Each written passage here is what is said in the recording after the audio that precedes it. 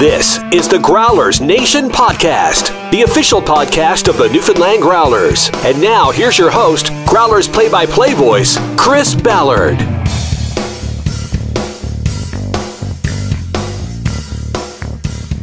Welcome to episode four of the Growlers Nation podcast. I'm Chris Ballard, Growlers play by play broadcaster. So happy to have you back for another episode. Thank you all so much for tuning in to the first three. First, we had James Melindy on to kick off the brand new season. Then it was Todd Skirving's turn. Then Giorgio Estephan was sitting here alongside me. And today we have uh, a brand new player and very special guest sitting alongside me today. A Hobey Baker finalist, the AHA Player of the Year last season in NCAA.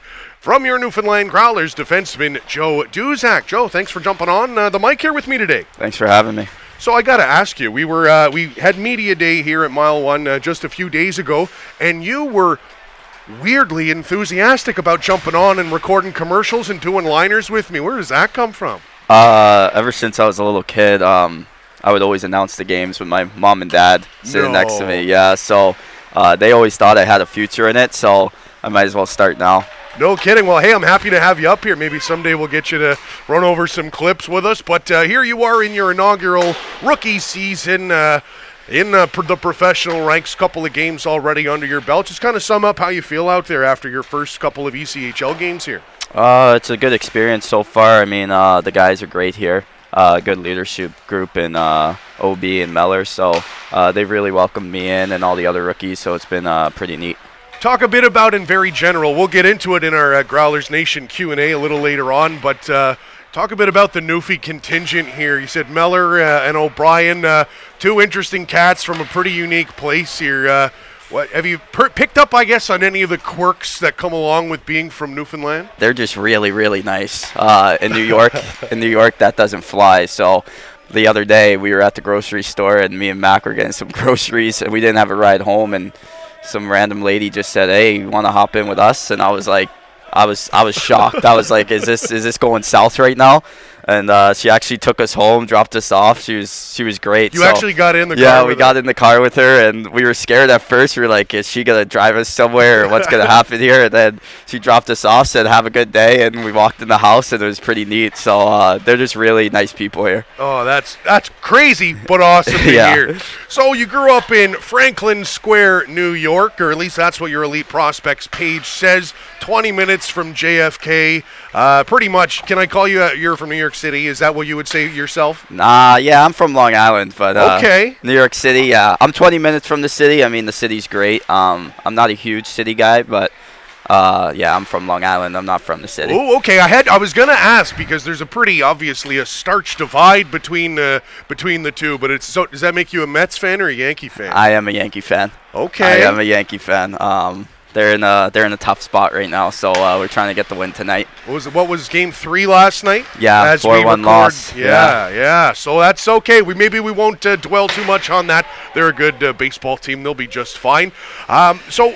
Tell me a bit more about growing up there in uh, Nassau County. What was it like? Where did you play your first days of hockey? That kind of thing. Uh, actually, my uh, cousin taught me how to skate. Uh, my older cousin Ziggy, he went played at Merrimack, and uh, Okay.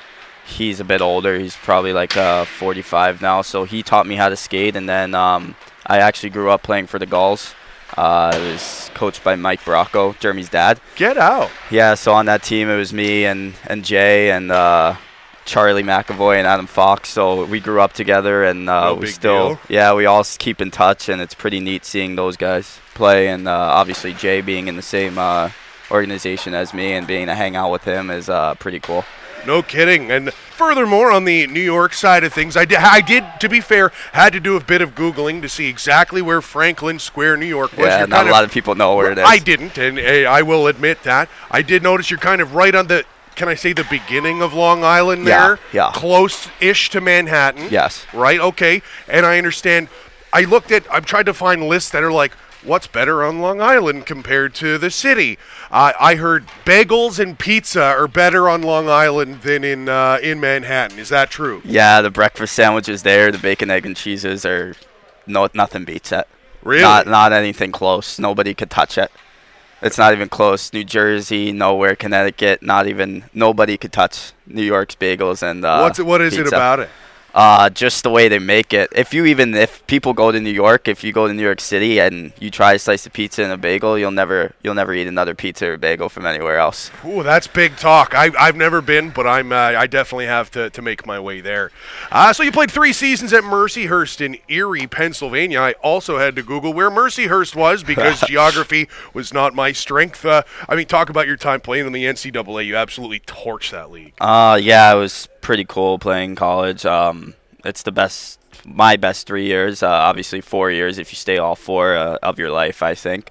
Um, you're with your buddies 24/7. For sure. You're hanging out. You have class. Yeah, class is kind of uh, sometimes annoying, but it gives you something to do during the day instead For of just sure. sitting around. So, hanging out with them 24/7 and just all the the good times we had. Uh, Mercyhurst was really key in my development, and um, yeah, I couldn't thank them enough for for what they've done for me. And you uh, got to play with uh, who was one of the OG growlers at the end of last season, uh, Matthew Whitaker. Any dirt on Wits? Uh, no, Witch is a good guy. Uh, yeah, he was a senior when I was last year when I was a junior, and Right. he came here. And when he originally came here, I went to the Marlies, and he That's had right. nothing, nothing but good things to say here about this place. So coming here, I knew it was going to be a good place, and uh, it's worked out great. No, sure, sure has. And uh, you were here just over a month ago, I guess, for Toronto Maple Leafs training camp. Yeah. My, my first question will be: You're getting off the plane in this place. For, have you had you ever even heard of Newfoundland before? No, never. I had no idea what it was. Uh, Wits obviously played here last year, Right. but I didn't even know on the map where it was. And then uh, on the way here, I googled it, and I was like, "We're in the middle of the Atlantic Ocean. like, Yep, like, yep, you're right. What are we doing here?" But the people here are great, so it's it's yeah, it's a second to none city. Yeah, no, no kidding. What was your experience here uh, with Leafs camp? Obviously, you guys were in paradise uh, most of the week and at the rink, but what were your kind of first days, first experience here on the Rock? uh, when I got off the plane, I was I was like, "What is this place?" We were just came from 75, 80 degrees, sunny in Toronto. We came here, it was 40 and raining, and I was like, "Come on." I was in shock. I didn't even bring a jacket because I No. I didn't even know where this place was. I didn't bring a jacket, so I was walking around with a sweatshirt all week. Like I didn't know what was Oh, going on. But yeah, it was pretty cool. Uh, uh, place to come for training camp with the Leafs. No, absolutely. Were you overwhelmed by the fan support at all? Because you see a, a, a dot in the middle of the ocean and assume there's seven people there. That's a fair assumption. Yeah. But you get here and there's lines that are like it's like almost a mile long to, to just get into the building to watch you guys practice. Like, did you get a sense of the passion of the community from uh, training camp that week? Uh, yeah, they're really passionate about the Leafs. Um, obviously, I'm a Yankee fan, so it's the same thing with the Yankees Of and the course. Leafs, baseball and hockey. Uh, you go, you go to the middle of nowhere in in Tennessee, and there's going to be a million Yankee fans there too. It's just it's just the way it is. That's like with all sports. There's always that one team, the Yankees, the Leafs. Like there's always just one team that everybody follows, and you could tell here that that they're really passionate about the Leafs. Absolutely. So does that mean you grew up a Ranger fan or an Islander fan? An Islander fan. Okay. I grew up an Islander fan. Uh, I grew up watching all the guys like Jason Blake and Alexei Yashin and uh, Rick DiPietro was the goalie. So I had a couple tough years growing up as a kid. Uh, I wasn't going to say anything. but yeah, Those were good players. But- I'm not sure they had the best team. but one of the best memories I have actually came against the Leafs. The- Okay, I'm all ears. The Shawn Bates penalty shot goal. Oh yeah, not Yeah. known for his touch, but he uh, he showed it on that posted play. in. Yeah, we, I was I was probably I think that was 03, so I was like six years old, and I'll never forget it because obviously I'm six. My mom and dad had me in bed at 8:30 to let me stay up to watch the game. So uh, it was it was pretty cool. I've had a couple of those experiences where my mom and dad have let me come up and stay up and my little sister would be all would be crying because she was like four three years old so she'd be crying because she couldn't stay up to watch the game and uh, Get out. It's happened a bunch of times. Same thing with uh, back way back. I think the 02 Olympics. My dad let me stay up for the USA game. oh yeah. And my and my sister had to go upstairs, and I had to hide behind the couch because they they lied to her, saying, "Oh, he's just he's sleeping at at my aunt's house. He's already in no bed." yeah, way. yeah. So, So your parents helped you lie to your sister Yeah. to justify watching the O2 gold medal. game. Yeah, I didn't. I didn't lie. I was just part of the plan. I was just hiding behind the couch. But yeah, my, my mom and dad would always uh, let me stay up and watch the the big games. So that was pretty pretty neat by them. Have you talked to your parents about have they tuned into any games here? Because now they're the ones staying up late thanks to that hour and a half time difference. I'm not trying to get you to say, oh, they love listening to the games. That's Yeah. not what this is for. But I, I have you have they been Uh, tuning in? so the first game, uh, actually, my cousin was getting married, so they couldn't watch the game. So they were, No uh, way. yeah, they were out at the wedding. And the second game, they didn't tune in either. I don't think because I was hurt and I didn't know if I was gonna play. Right. So they went out. It was their uh, wedding anniversary oh the my next God! day. So yeah, both of those things are definitely good reasons. yeah, to so they uh, they were like, "Oh, are you playing? We'll watch, and then we'll we'll we'll go out to dinner and then watch." And I was like, "I don't know." So they just, I think they just went out to dinner. They didn't even think. Well, anyway, they're gonna have to stay up an hour and a half later. yeah, they'll be on they'll be on the next one for sure. All right, I'm gonna I'm gonna hold you to that. Tons more questions to come here for our special guest today, Joe Duszak, and we're gonna turn right into our Growlers Nation Q and A. You're a popular fella here, Joe. Uh, lots of questions coming up here for you. Devin James Renuff asks, "What did you think about the Growlers winning the Kelly Cup last year, and how are you enjoying Newfoundland so far?" So you were with the Marlies until they were eliminated from the postseason. Obviously, uh, the link between the Marlies and the Growlers. How much uh, Growlers? Came onto your radar, I guess, uh, down the stretch, uh, you know, say uh, May, June last year. Um, originally when I got there, Hudson uh, Elynuik was still there, and uh, I think a couple other guys were there. So when they got sent down, um, it's all over Twitter and all For that. sure. So you see what they're doing. Um, it's pretty special what they did last year, especially the first year in the league. So. Um, what they have here is good, and uh, what we're building now is pretty special too. So hopefully, uh, we could keep it going. No, I hope so. As some from someone like yourself, you weren't on this team last year. What was it like seeing that banner go up and really kind of you get to live that moment, whether you were here for it or not? What was that like for you? The fans were really into it for sure. Big time. Um, and then uh, just standing around the circle when they uh, announced us, and then they went over to the banner uh, just to see those. Uh, I think it was like 10 guys, 11 guys, whatever it was. Uh, go over there, take a picture, and see how happy they were to see that banner. You get happy for them for, for what they've accomplished. So it was pretty cool. No, absolutely. So thank you, Devin James Renuff, for that. Steph Conway, and then about a half dozen more have asked, what was your first impression of Newfoundland? We got that one out of the way, but she also does ask, are there any sites uh, you've seen? Signal Hill, Cape Spear? Have the boys from last season taken you to the Duke for fish and chips yet? So I'm going to pull a few questions out of Steph's question here. Yeah. Have you? Uh, how many of the sites have you gotten around to see between Leafs camp and now your first couple of weeks here in St. John's? During Leafs camp, uh, we were only here for three days. Right. So uh, I actually did go up to Signal Hill. Nice. um, me and Mac were actually just out to dinner, and then uh, we had like uh, volunteer chauffeurs around Right. uh, the Leafs, all all camps. So uh, this one guy, Tony, uh, Tony Como, actually, we called him the other day because because he we I, we love the guy. He had, we think he's so funny. So uh, he said he didn't want to go home to his wife, so he took us he took us to Signal Hill like 20 minutes all the way there. Yeah. He took us up there. He was showing us. uh, It was it was probably like 7:30, 8 o'clock at night. So it was really beautiful to see all the lights and the water. So it was really nice. So that was the only s- place I've really seen uh, Okay. sightseeing. I, I don't really know uh, other spots. Honestly, I these guys will probably take me around, but For sure. I've been uh, I've been to the rink. I've been up there. Uh, I've been to food places down by the water. Um, right. so I've been to local shops. I've been obviously to the keg and all that stuff. But yeah, it's been pretty cool so far. No kidding. No, this is uh, an absolutely cool city, and uh, the more you get around, the more you'll fall in love with it. Just warning you. So thank you to Steph Conway. Uh, actually, well, I'm going to keep on her uh, question here for a moment. Um, about the food, Newfoundland food is pretty unique in and of itself. Do you? Do you this is a stupid question. Do you enjoy eating? Are you a food guy, or do you just eat to live or live to eat? And what have you eaten here that's been like, hey, this is weird, but I like it? Um, guys actually make fun of me for this, but I'm a very simple eater. Okay. Like uh, we go out to uh, say I get a burger, it's just bun, burger, bacon, nothing else on it. No- No, no cheese, ketchup. no lettuce. Just yeah, ketchup. Okay, I was gonna say you're not No- a monster. Yeah, no cheese, no lettuce, no tomato, no pickles, no nothing on the burger. So I'm very simple. So um, and I actually, I actually don't eat fish. Okay. So I oh, only, you're in the wrong spot. I only eat uh, seafood. I only eat baked clams and shrimp. I don't eat fish. So um, I'm very simple. I could eat the Okay. same meals for for the rest of my life: breakfast, lunch, and dinner. If you gave me eggs for breakfast, chicken for lunch and steak for dinner. I could eat it for the rest of my life and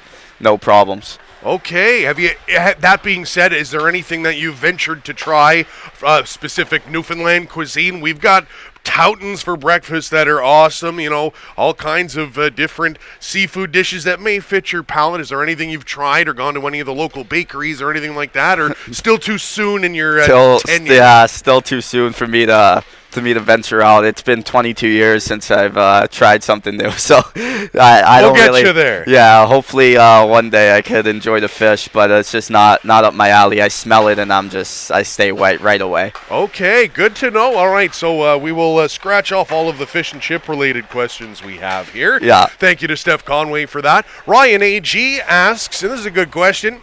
When being pursued by NHL teams as the uh, hot free agent that you were, what was it about the Leafs pitch that drew you in? Obviously, you can speak as comfortably as you can to that question, but I thought that was fair. What's it like being the, you know, the, the pretty girl in school, having everyone uh, coming after you, and what was it like, uh, you know, to sign with the Leafs? Uh, yeah, I really just thought their uh, their the way they do things here is uh, pretty special, and what, how they uh, handle themselves on and off the ice, obviously, are a huge part of it. But um, yeah, you just see the D they have and the D throughout the organization. Um, obviously, uh, you have Mac here with me. Uh, Right. If you look at every like, even if you just look at me and Mac, we kind of play the same way Yeah. yeah, some people get get us confused out there. Most of the time, uh, they'll be like, "Oh, Mac, did you give me that pass?" And no, that was Joe. Or Joe, did you give me that pass? No, that was Mac. So, uh, if you just look up and down through the organization with Tyson Barrie and Morgan Rielly and uh, Sandman and Lily, uh, Yeah. they all play the same way. We all play the same way. So. When you see that, you you see that there's a there's a chance for growth and development, and uh, that's why I chose here. No, awesome. That's a great answer. Uh, what was it like scoring your first pro goal last year? It was in the playoffs, right? Bit of a kind of a floater. I'm not taking anything away from you, but it was Uh, I think that was a rocket. definitely. Sorry, you're right. I'm, I, I'm misremembering. But uh, what was your memory there? Uh, you know, last year, uh, last season, after a long year of uh, college hockey, getting your first pro tuck. Uh, yeah, um, it was pretty special to, to score my first goal, um, especially in the playoffs. And, Yeah. Uh, playoff goals are obviously huge, and they're they're hard harder to get. So, um, when I scored that first goal, it was just a relief that okay, now I could just settle in and play my game and do what I have to do, and uh, just being able to see, especially Jay, just be so happy for me on the bench, and uh, that was pretty cool after the game, just looking at each other and being like, wow, like That just happened. yeah, like we're we're one step away, you know, and uh, Yeah. especially when you grow up dreaming about it when you're three three years old on the ice together, skating around, and everybody's dreams to play in the NHL, obviously, and for us to kind of be doing it together is is pretty special. So you're good buddies with Jeremy Bracco. then. Yeah, This is stuff I can't pull off your elite prospects page here. I did not know that. Uh, well, actually, so before I was, we were both born. His dad played with my older cousin, who taught me how to skate. So, that we've like we've been family friends since we, before we were born. my mom and dad have known him since Mike since probably he was 16 years old, and they played together. And Get so out. yeah, it's pretty it's pretty special. Um, and then we played obviously from when we were this tall, like three years old, until uh, basically, 15 yeah, until yeah. we went to the to the program. So Unbelievable. when he went to the program, we had uh, about four or five years where we didn't play together Right. because he went to program, went to the OHL, and then uh, when uh, the Leafs reached out to me, the first thing I, I thought to do was to call Jay and ask him what he thought, and obviously being there with him, it's uh, yeah. and then right away you get the text from from Mike and his mom Vicky. So it's just like it's and and my mom texts Jay like, when he does good things, and it's just uh, we see each other all summer, and we go. I go to his uh, dad's bar and have his. Uh, he has unbelievable filet mignon there, unbelievable. You catch me at Ooh. Bracco's bar, it's unbelievable. It's uh steak, corn, mashed potatoes, French Oh fries, whatever you want there and he obviously hooks it up and it's unbelievable. Like the the food there is great and he knows as soon as i walk in it's filet mignon corn on the cob automatically. Stop. yeah he doesn't even ask what i want. He knows exact he knows exactly because i'm so simple. He knows exactly what i'm coming there for and he just he uh, it's it's great. Yeah so growing up with him and obviously being on the ice when you're three years old everybody dreams of scoring game seven goal in Of the course. nhl and when you when you're that young nobody ex- uh, you you can't look at a kid and be like, oh, this kid's gonna gonna sign an NHL deal or play in the NHL, and and it's pretty special that uh, we're we're trying to chase our dreams right now. That's crazy. I had no idea. That's absolutely awesome. So Yeah. thank you back to Ryan AG for leading us down that path there. David Follett asks, "What are your thoughts on Coach John Snowden's guidance with uh, this newly cemented team, and how is he maybe different from other coaches you may have worked with?" So uh, first impressions, because Snowy was around during uh, Leafs camp as well. What were your first impressions of how this group is maybe shaping up under his guidance? the way I am, I'm just uh like a I like to make jokes about everything and be a funny guy and just always have be laughing. So uh, especially even with Kiefer last year and here, as soon as I show up, I just like to make everyone laugh. And so he was at first I didn't know how to read him. Is he a serious guy? Will he laugh Right. me? And and the first day I started cracking jokes and he was laughing, so it was good to to make sure that he was on board with my antics because uh, I. I, I like to get I, I go far and away out of the realm of what people say and do so I just kind of I had to like monitor what I say to him first and For then sure, you got to feel him out. yeah and then once I knew that he'd laugh with me it was uh, it was pretty easy from there No kidding. So can I extrapolate from there and say, are you like a prank prankster kind of guy? No, no, I don't pull any pranks. No pranks. I don't pull any pranks in the locker room. Nothing, because I don't want any pranks done to me. That's fair. I don't pull any of That's that. I just like to make uh, a lot of jokes and kind of kind of stir the pot. So if uh, someone else is going at each other, I'll stir the pot and be like, "Oh no, you didn't." Oh, oh, oh," and I'll, I'll get them Okay, going a bit. okay, but I hear you. I, I kind, I'm kind of the guy in the background that just stirs it and then waits for, for everyone else to start uh, messing around, and guys will laugh at me because they know what I'm trying to do. So, uh, yeah, it's pretty pretty funny. That is funny, and uh, thank you very much to David Follett for that question. So many people have asked specific Newfoundland questions. Morgan Stacy did as well. Aiden Foley. Peter Michael Norris asks, "Did you get screeched in yet? That is the rite of passage for to become an honorary Newfoundlander. Have you gone through that song and dance just yet?" No, I haven't yet. Uh, I haven't been screeched in yet. I'm waiting for it. My buddies actually were just here from uh, Reading, and they got screeched in before I have. So Stop. Yeah, so uh, I'll have to get it done sooner rather than later. But um, yeah, I'm just waiting for the right time. Maybe that's that's probably what I'm waiting for. The right time. There you go. What do you think it involves? I'm sure you've been told. Yeah. In your mind, what have you been told screeching in is? So basically, it's like you become a honorary uh, Newfoundland person, and Yep. that you gotta you start by by kissing a fish, taking a shot of rum, and then you gotta sing a song or a poem or something like that, and then uh, That's and then you get fair. a yeah, you get a certificate, and then you're That's right. you're Then one you're of them. An official, yeah, You're yeah. an honorary Newfoundlander. All right, but I just so didn't know. yeah, I, di- I don't know all the details or what order it goes in. I just know you got to kiss a fish, take a shot, and then and then uh, sing a song or a poem or whatever they have. You just repeat after what the guy says. But I heard it's kind of hard because they have these accents, and I don't. uh-huh. I have a Long Island accent, so it's like yeah, I don't I don't really know. I could understand them, but it's like well, I I don't know if I could say that. No, I, uh, I guess I get where you're coming from there. So I will ask you this about uh, getting screeched in in your in your simple diet, your simple tastes. Uh, much bologna in there? I I'm was sure there's up, not. When I was growing up, I ate bologna almost every day for lunch. Stop! I did not day. expect you to say that. Uh, yeah, uh, I, I ate it every day for lunch. My grandma used to make it. Like, she used to make me a sandwich and then uh, peanut butter crackers. So that's what I had for when I was five until when I was when she stopped watching me. So I, I like I, I used to eat bologna all the time. all the Okay, time. so you'll be just fine when you go to get screeched Yeah. because you do have to eat a piece of Yeah. fried bologna. that's yeah, that's fine. Like it, that's that's perfectly fine with me. okay, all right. So much thanks. The kissing the fish is gonna be the hard part. You just gotta close your eyes. I, I just hate fish. Hate the smell of fish. oh it's- yeah. Yeah, so uh, it's gonna be tough. Just oh, I'll just have to hold my nose and kiss it, and And, then move on and not think about it. maybe go straight to the bathroom and wash it right off my lips. You're that ad- adverse or whatever to, to fish. eh? yeah, I just don't like it. Okay. I over uh, I'm obviously Catholic, so over uh, Christmas you're not allowed to eat meat. That's right. So my mom just makes me some shrimp and baked clams, and I have some pasta because I, I they'll, they'll eat fish. My family loves fish, so they'll eat fish all the time. And when they're cooking it, I'm like, guys, turn that down, get it off the stove, because I I can't stand the smell. Okay, well, uh, it'll be because there's different versions of getting screeched in. There's one that it's kind of the lesser one where it's a stuffed fish, it like a like a stuffed toy. Yeah. That's nothing to it, but you No, want you gotta get the, the real real thing, deal. yeah. If Yeah. we're doing- I'm glad you're on board at least. I'm for- on the I'm on the real. Yeah, that. I'll suck it up for for 10 seconds and For the sake of becoming an honorary Newfoundlander, Yeah. you've got to go real deal. I'll do the real deal. So uh, thank you very much to Peter Michael Norris for that question. Moving on to the next one from Rod Z, a good friend of the show. Uh, do you attribute your style to any player or players, past and present? So what this reads to me is: uh, Is there anyone in particular you uh, model your game after, or favorite players growing up, that kind of thing?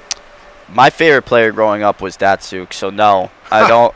I, He's a little tough to emulate. yeah, and I'm a D man, so it's kind of hard to do. But a lot of people have told me that, uh, uh, especially growing up when I was 14, 15 years old, I play like a Brian Rafalski type game, and now with the, with the newer defensemen, you see Torey Krug and Shayne Gostisbehere. So guys like that, uh, smaller stature guys that, that like to move the puck and join the rush. So kind of try to emulate what they do and uh, how they play the game. Absolutely, that's a great question, and thank you to Rod Z for asking it. Shakira Young asks, any pregame rituals, or what's your mindset during a game? Are you a superstitious fella? I am. I am superstitious. I like to do everything. I wouldn't say superstitious. It's more of a routine.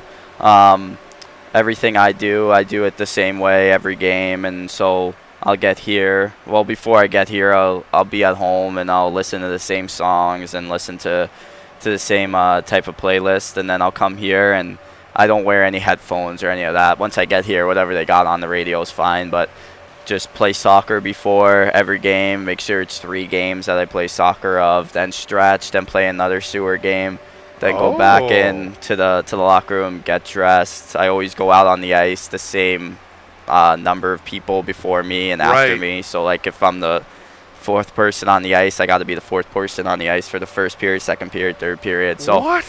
yeah, I do all that stuff, and then getting dressed, it's the same thing. Uh, obviously, you have your Under Armour stuff, but then I go uh, right shin pad, right sock, left shin pad, left sock, pants, right skate, left skate, right elbow pad, left elbow pad, shoulder pads, jersey, and then helmet, right glove, left glove, and then go on the ice. If you were to do one of one of those things out of order, with how badly would that ruin your day? If you accidentally shove the left glove on first, you're like, oh, Oh, no. yeah, it's just I know what I'm doing. I make sure that I keep it. So you're locked in when you're getting dressed. then. Yeah, and then same thing on the ice. If you ever watch me in warm-ups, I do the exact same warm-up. I take the exact same uh, routes everywhere every time I play. Yeah, Get so out. I'll come on the ice. I'll make sure I only shoot two pucks, and then I'll skate around. In the entirety of warm up, you touch and shoot two pucks. well, no, I'll shoot two pucks, and then we'll come up to the top, and then I'll shoot one puck there.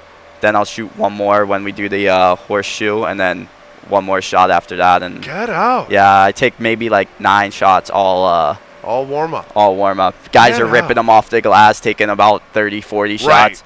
Yeah, 9 You're shots. saving your good ones for the game. Yeah, I because when I was a little kid, when I was 14 or 15 years old, I didn't want to break my stick in warm ups, so I wouldn't take any shots because obviously I, I'm not from like a, a rich, rich family, Sure.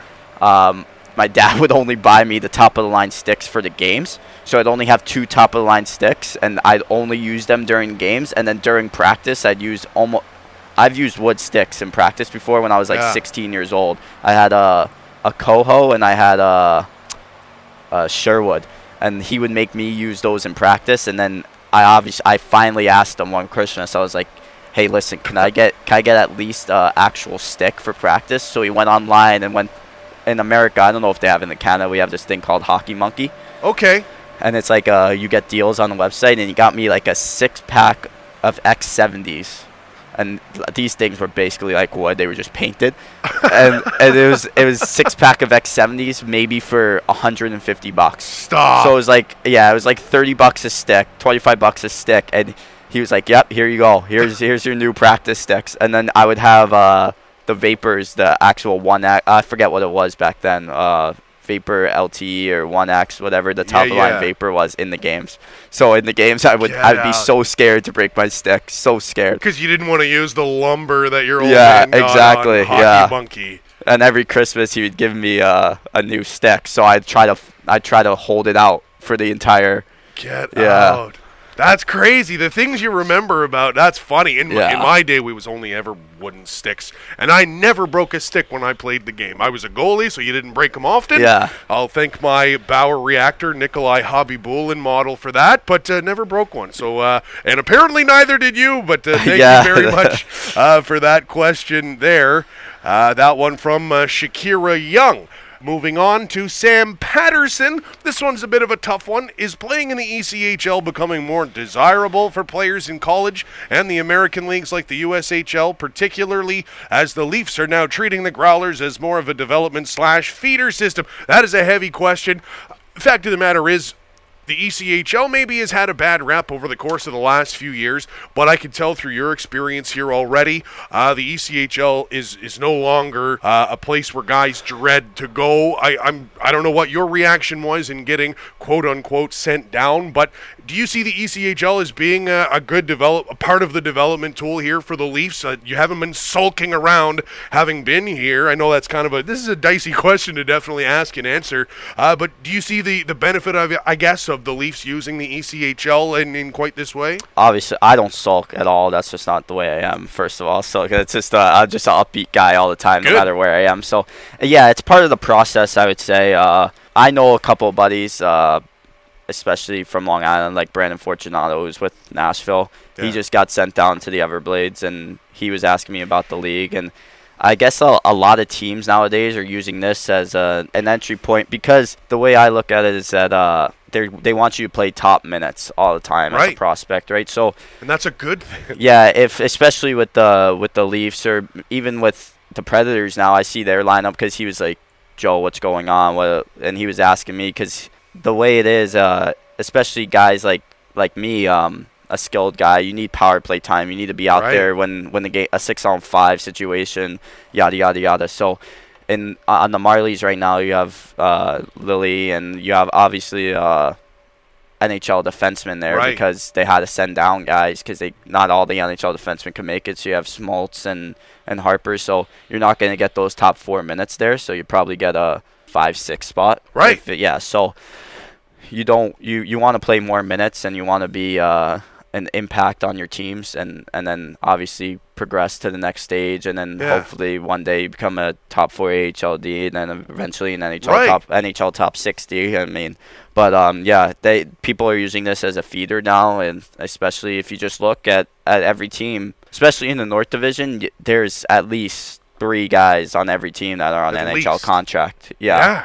So you, you look at, at yeah, you look at every team in the North Division. There's three guys that are on NHL deals that are in the coast just because whether it be It's a numbers game. Yeah, and an so- opportunity game. yeah exactly. So it's, especially when you're young, it's not that that difficult because you know you have a lot of time and you could make the most of it here. Right. And obviously, uh, especially for me, having a guy like uh, Adam Pardy on the ice 'cause it- because he'll teach me how to play defense, and that's what I need the most, just to Yeah. learn how to play in my own end more and and learn how to shut plays down quicker. So having guys like that uh, around every day is uh, beneficial to us. No, absolutely. And thank you for answering that question. It's a tough one for even me to ask, but I think it's beneficial to, because maybe back in the day, a lot of people would have assumed that, uh, you know, the ECHL is uh, where, you know, teams go to bury their contracts they don't want anymore. It is no longer the case, uh, even Yeah. uh, even in my experience here. So thank you for Sam uh, to Sam Patterson uh, for asking uh, that challenging question. Uh, and that is all of our Q and A uh, here for today. Uh, and I think that's going to wrap up our segment here with Growlers rookie defenseman Joe Duszak. Joe, uh, thanks for uh, jumping on here with me today, and uh, all the best. Uh, I can't wait to stare at you uh, in warm up next time you're out there. Yeah, whenever you need me back up here, let me know. I'll come. I'll come announce the game for the for the Growlers fans. I'm okay with that. All I'm hearing is day off. Hopefully you're back out onto the ice, but if not, uh, I think I might have to put my feet up for a while. Maybe Joe- just for a period, I'll come up here and then be your sidekick. All right, well then that means you're kicking Raj out. I don't know about that, but in any case, uh, happy to have you on here, and uh, yeah, we'll uh, definitely catch up with you again soon.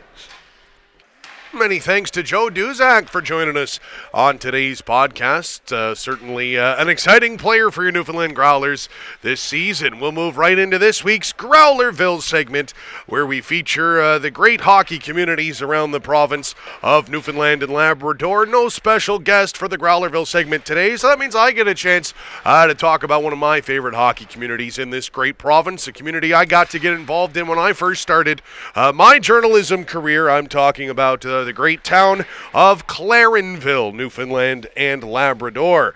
With a population of pretty much the exact same as the capacity at Mile 1 Center, 6,291, uh, Clarenville and the surrounding communities of Shoal Harbor, Random Island, you're close to everything down on the Bonavista Peninsula, uh, is really a great sporting community and a great hockey community. They hosted the 1994 Newfoundland and Labrador Winter Games.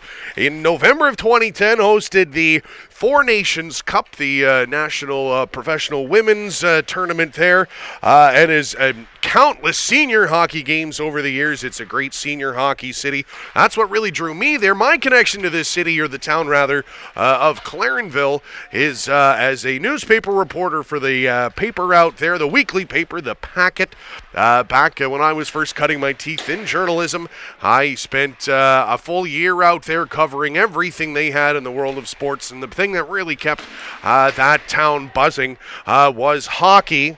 Uh, in particular, their senior hockey team, the Clarenville Caribous, who rose to national fame, winning the senior championship for the whole country of Canada, the Allen Cup, only the second Allen Cup ever won by a Newfoundland squad, and they did that in 2011 at the tournament in Kenora, Ontario, and they actually got the honor to host that prestigious tournament and did a wonderful job in doing so back in 2015. Unfortunately, they couldn't get the job done. Uh, they did lose in the semifinals that year, but certainly a tremendous honor for uh, not just the town, uh, but for the entire province of Newfoundland and Labrador as well. The Growlers. Uh, and our broadcast team even indirectly have a connection to Clarenville. Uh, beyond myself, Randy Piercy, our very own host on Rogers Television, actually coached that team uh, from 2006 to 2010, and I Got a few Herder championships in there as well. The Caribous have four Herders uh, during their time and have really become one of the powerhouses uh, of senior hockey. And uh, they play out of a wonderful facility as well at the Clarenville Event Center. I believe it's the Eastlink Event Center now. A great facility for the given the size of the town and surrounding area. Uh, only holds about just under 2,300 people, but I can tell you that barn is as busy and as rocking as any barn in the ECHL when they pack that in for senior hockey. So that's an awesome place. And as well, their minor hockey system is one of the best uh, in the province as well. The Caribous minor hockey system. Uh, so many kids uh, in that area are uh, absolutely in love with the game of hockey. And as well, that's always seemingly been a stop for if and when the Growlers and even the previous uh, Ice Caps uh, used to do their preseason tour of the island. I remember, I think it was the first Ice Caps game I had ever seen, or one of them anyway, before I started working in hockey. It was uh, a preseason game in Clarenville uh, while I was working for that newspaper. So that was uh, that's a neat uh, connection there for me uh, as well. And in addition to that, Clarenville Event Center, a beautiful facility um, that services that whole area, not just for hockey but for entertainment. There's a wonderful theater. I caught the review in there a few years ago. It was deadly. Uh, if you've ever played hockey in Clarenville growing up, that's not where you would have played. You would have played at the old Tin Can Arena there off of Manitoba Drive. There uh, again, that's one those classic buildings. I remember playing my minor hockey as a kid. You remember going to Clarenville and staying at a at one of the bed and breakfasts around the corner, or something like that, and uh, and going to town in that those tin can barns, that and the old Smallwood Arena, which we featured uh, when we last spoke with Trevor Murphy about the great city of Mount Pearl. Very similar, cold, but just that's where community character is born, and it certainly was in Clarenville there. So that's going to do it for our short Growlerville segment here for the week and for our podcast this week. Many thanks to Joe Duszak uh, for jumping on the podcast with me here today. And again, folks, uh, I'll be keeping you all posted on the Growlers Nation social media pages on Facebook and on my own Twitter page as well to let you know who I'll be talking to next. And I want your questions, so make sure to get them in. Make sure you get your tickets if you haven't already done so uh, for the Growlers upcoming contest mileonecenter.com or call the Mile One Center box office at 576 7657. You can catch every Growlers game with me uh, for free online, every single game, no exceptions, at mixlr.com slash NL Growlers. So, again, on behalf of all of us, thanks for tuning in to this week's Growlers Nation podcast, and we will see you next week. You've been listening to the Growlers Nation podcast with Chris Ballard. Follow the Growlers all season long on Facebook, Twitter, and Instagram at NL Growlers. Listen live to all 72 Growlers games on dot com slash NL Growlers.